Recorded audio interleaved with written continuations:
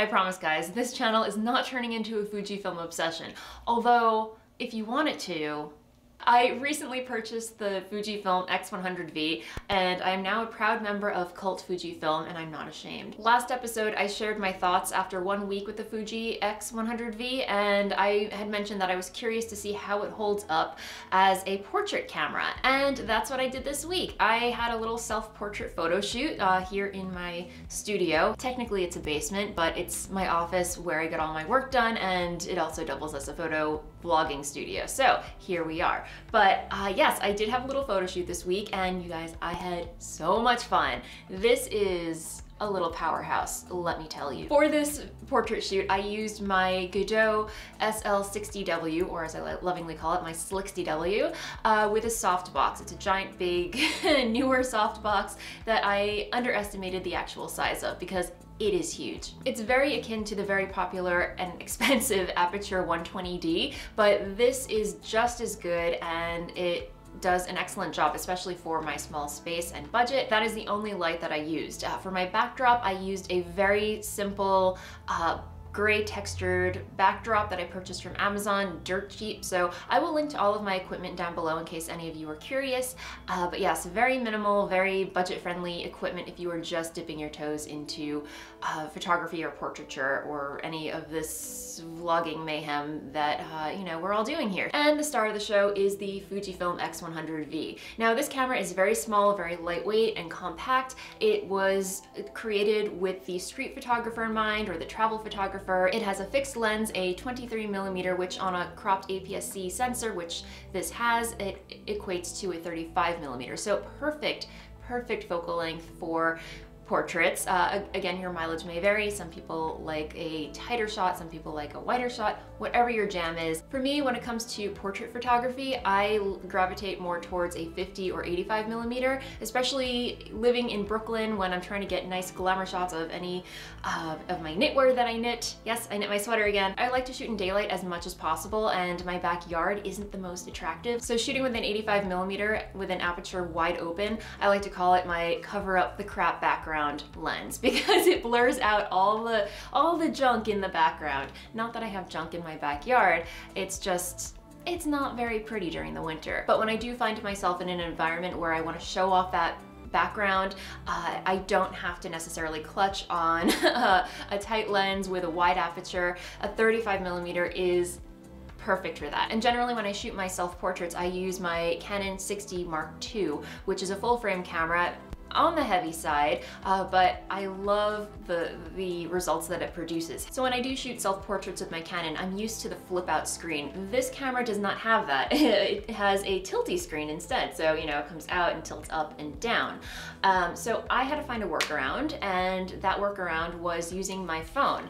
So Fuji makes an app that allows you to connect your camera to your iPhone or smartphone. Once your camera and your phone are linked via Bluetooth or Wi-Fi, uh, you can frame up via your phone and use the shutter button through the app. So uh, in hindsight, that is very, very handy. However, I was having issues, I don't know if it was my connection, uh, I just found the connection to be very dodgy, hit or miss, and sometimes it took a while for my phone to connect to the camera. So that was a little annoying. And after I took one picture, in some cases, I had to wait a, a few moments before uh, my camera would allow me to take another. So that is one thing to keep in mind. If I decided that I was going to use this as my primary self-portrait camera, I would certainly invest in a shutter uh, clicker thingamajig, uh, shutter, shutter remote, shutter remote, that's the word. They do make one, it's about, I wanna say $30 uh, US, so again, I will link to that below. While I don't plan on switching to this specific camera body for uh, self-portraits, it's nice to know that it is an option. Despite the shutter connectivity, it is a very, very capable portrait camera. I was very, very impressed. I should also mention that I used a Tiffen Black Pro mist filter because again,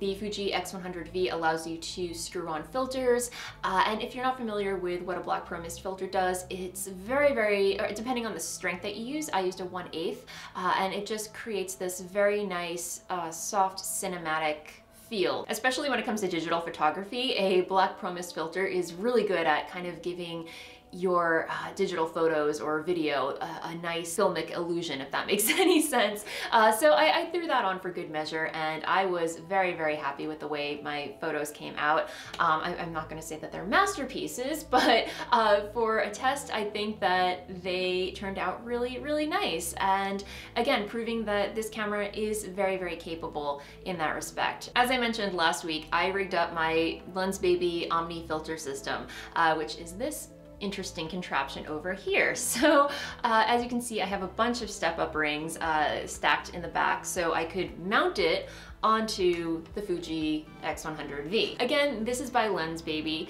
Uh, it's a metal magnetic plate that goes over around your camera's lens and it also has these little magnetic things right here that allows you to clip on these crystals and filters, they come off and it's a very strong magnet too, but you can pop them around, move it around. Again, this works really great in bright sunshine because the, the crystals pick up on, on the sun and then creates these rainbowy reflections. Uh, it worked just as well inside and dare I say it was pretty addictive. I just got really into seeing how many crazy reflections I could make with this thing. And I don't know if you can tell, but my photography does err on the side of dark and moody and emotional. So, you know, if you are wondering what my photography style is, I, I guess that's the best way I can describe it. If you want to take your photography creativity to the next level, I cannot recommend the Lensbaby Omni filter system more. Again, not sponsored, just a die-hard fan. Uh, you can have so much fun with this, guys.